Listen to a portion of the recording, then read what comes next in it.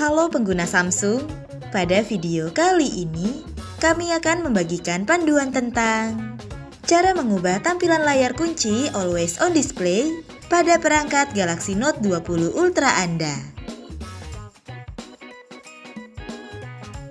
Metode ini memungkinkan Anda untuk mengubah tampilan tipe jam pada always on display sesuai dengan keinginan Anda. Langkah pertama, masuk ke dalam pengaturan.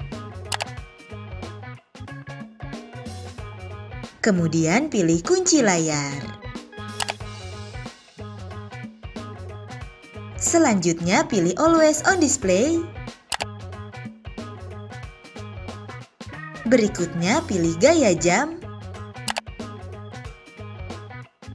Langkah terakhir, pilih tipe jam sesuai keinginan Anda dan ketuk selesai untuk mengubah.